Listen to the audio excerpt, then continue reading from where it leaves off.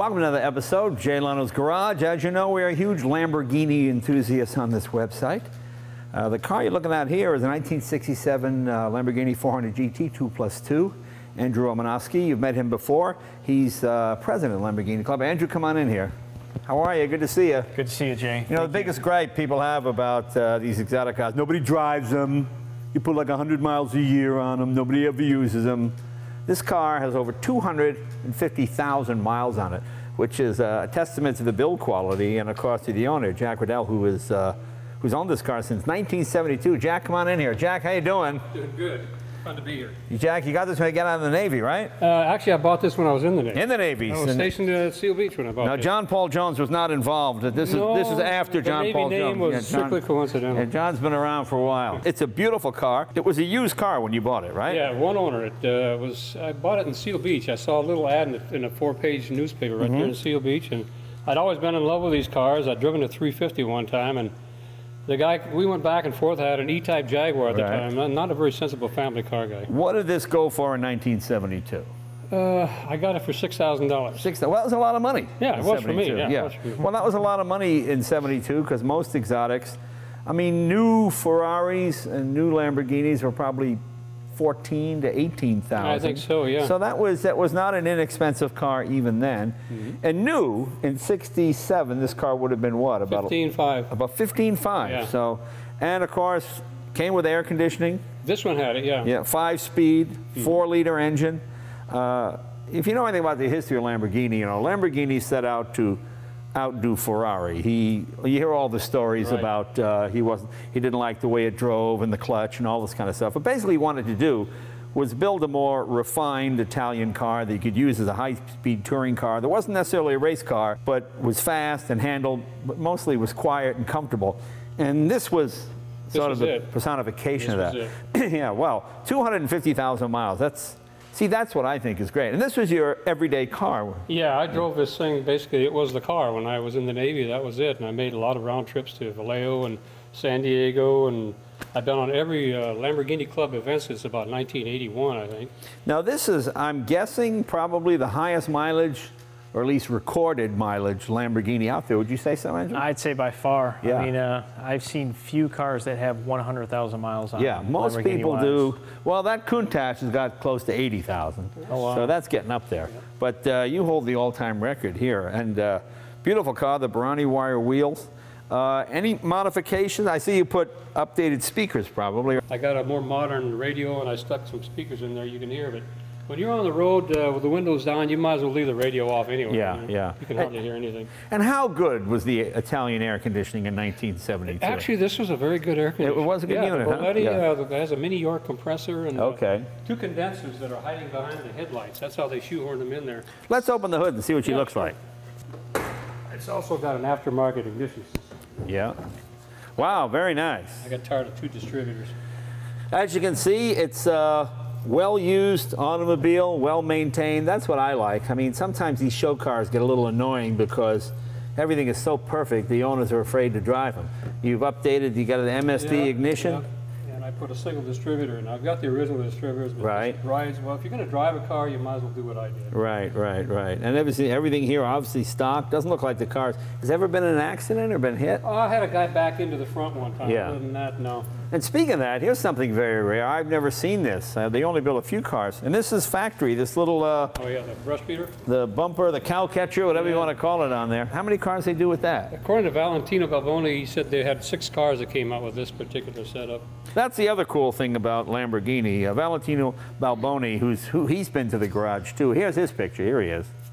Uh, he test drove every one of these cars, and he's just about. I think he's like a year older than I am, and he probably remembers driving this car, doesn't he? Well, he remembers a lot of those Yeah, cars, yeah, surprisingly. yeah, yeah. Because how many of these did they build? Uh, 229, Okay. I think, yeah, So, 239. so they're like they're pretty rare, and for the longest time, I would say, for the last go back five years, ten years after that, they were pretty reasonable.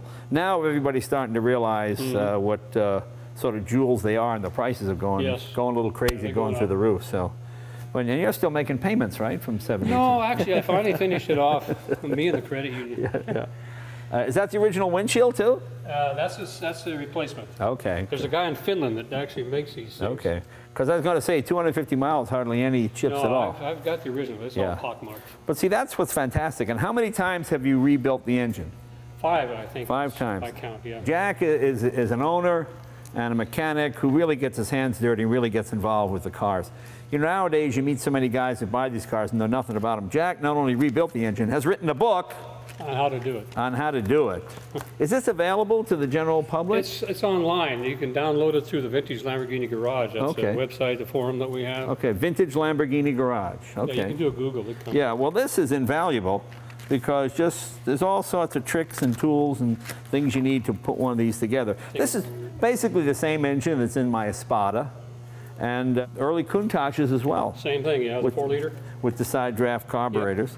Uh, how does she run on modern gas? Any problems? Uh, well, I had to change the valve seats. You know, the Okay. original valve seats were soft and they had leaded gas, so it wasn't a problem. right. But they got beat up when they took the lead out of the gas, so we have, nowadays you have uh, steel, the hard seats. Good. But that's really the only. It runs on 91, right? Yeah, 91 octane, yeah, I put the aftermarket fans on mine. I think you did that to your car also. Right, right, yeah, yeah. Very nicely done. The original fuse box. Looks like you got all the original wiring there. Yeah, unfortunately, that's, that's Yeah. a little scary sometimes. Now, do you put a, uh, you have a battery disconnect switch?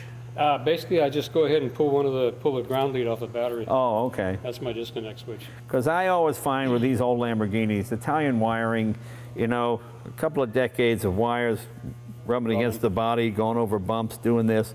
You know, people don't think wires move. They do move. And especially in a car like this, you're just doing this, and sooner or later that insulation is going to wear, and you're going to have yourself an electrical fire. Yeah. So it's always good to, uh, to do that.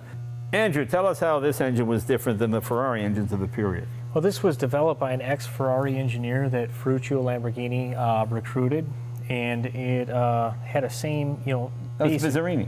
Yeah, Bizzarrini, Bizzarrini. Yeah, he was here at the shop as well. Oh, okay. Yeah, it was an honor. He was here about 15 years ago. That was quite a quite a trip to have him come by. Cool. Yeah, he designed, you know, under uh, you know Ferruccio hiring him, um, a 60-degree V12 with dual overhead cams. You know, at the time, Ferrari just had you know a single overhead cam uh, head engine. You know, this provided a little bit more control over the valves and provided more horsepower for the Lamborghini car. The prototype engine that they had designed for this series of cars was 350 horsepower. Right. Now, I believe this one has uh, 340 horsepower, Jack. 340, no, it's, th- way out, 340 at uh, 7,000 RPM. Yeah, yeah. And 340, although in today's world of Z06s with 650 horsepower and whatever, doesn't sound like a lot. But back in the day, Oh, that yeah. was very, very impressive. Yeah, with carburation. Yeah, exactly, exactly. And it was real horsepower. Uh, you know, most, like the Jag always said it was 265 horsepower, probably closer to 180. I'm probably Right. get a lot of letters on that, but a lot of them never dynoed out like that. These these had the real 350 horsepower.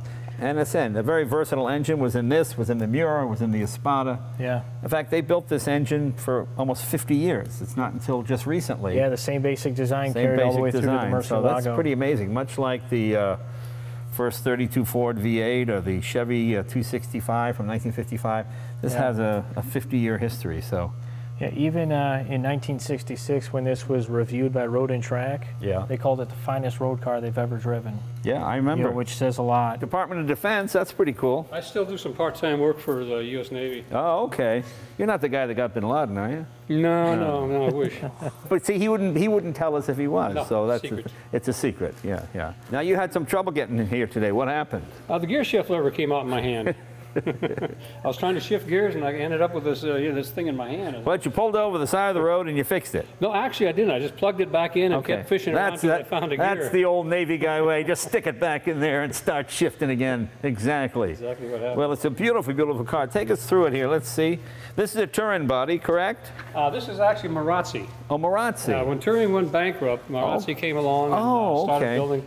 But it's basically a touring body, except it doesn't have the. Uh, it has aluminum trunk and aluminum hood, but everything Okay. else is steel. okay. Original color?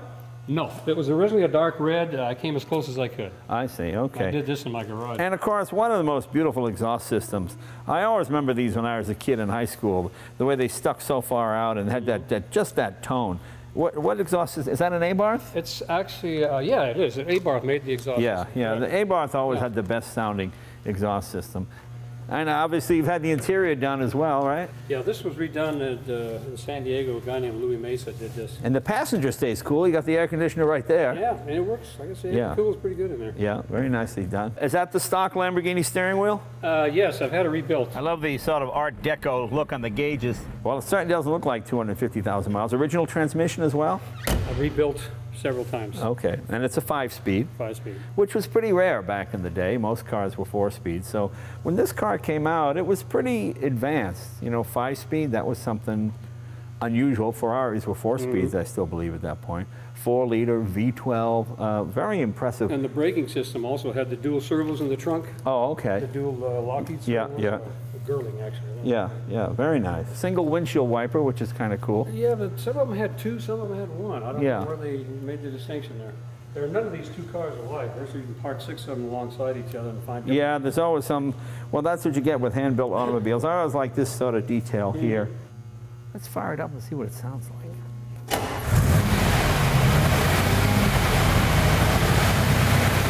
As you can see, very nice sounding exhaust, nice and mellow, not overly loud, because this is a, a grand touring car. That's what it was meant to be. But back in 1967, this is about as, as exotic as it got. They were reliable, they were good handling cars, and uh, they drove Ferrari crazy.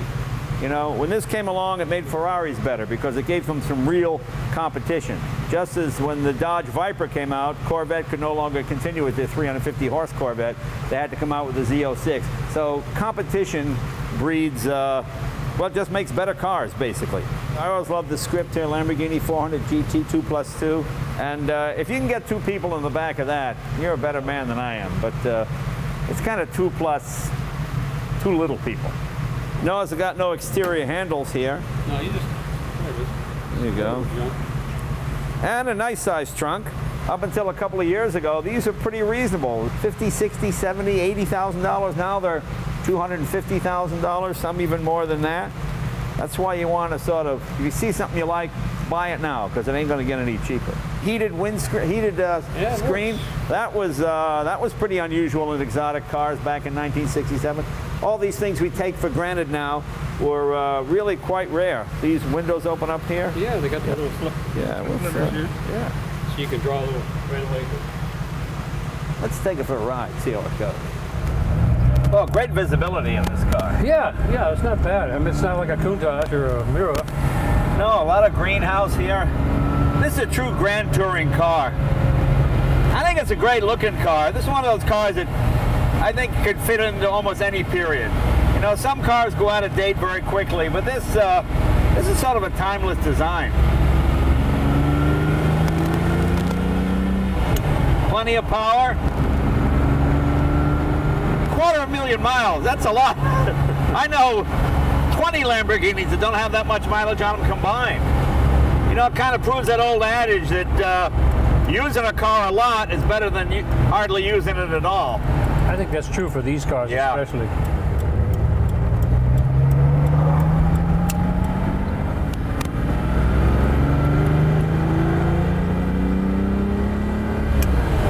You've got plenty of power. Yeah, it's not bad for an old car. Well, very nicely.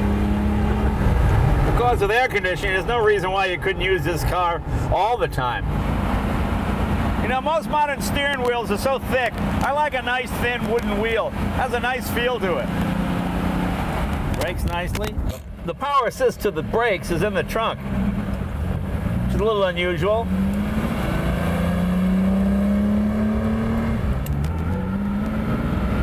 Let's take it up on the freeway, see how it goes.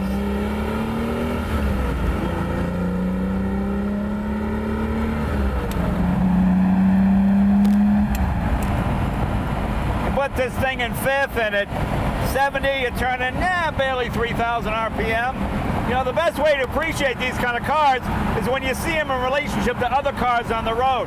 Because when you see them parked in a garage in a museum, of course they're impressive, but when you see them out on the highway, then they really stand out because they don't look like anything else on the road. And this road is especially bad, very bumpy yet. No vibration through the steering wheel. No shimmy, no shake at all, no cowl shake. Handles very nicely. You have to kind of understand these cars in the time that they were built. You know, right now the biggest builder of V12 engines is Mercedes-Benz. But they weren't building V12s. They, were, they weren't even building V8s when this thing came out. So only the Italians and maybe uh, one or two others had V12. So a V12 was really something unusual. It's so turbine-like. It's almost like a jet engine. It's so smooth. Jack, thanks for letting me drive this. Hey, my pleasure. Hope you enjoyed your ride in the uh, highest mileage Lamborghini. This thing's got almost as many miles on it as Jack, and Not look, quite. and it looks a lot better too. Look, look what kind of shape this is in, and then look at Jack. So that just goes to show you, exactly. But uh, it's kind of fun, and it proves you can use an exotic car every day and put high miles on them, and it's no different than any other car. Yeah, enjoy them, have fun. Jack, thanks again, Thank you. and Andrew, thank you as well. See you guys next week.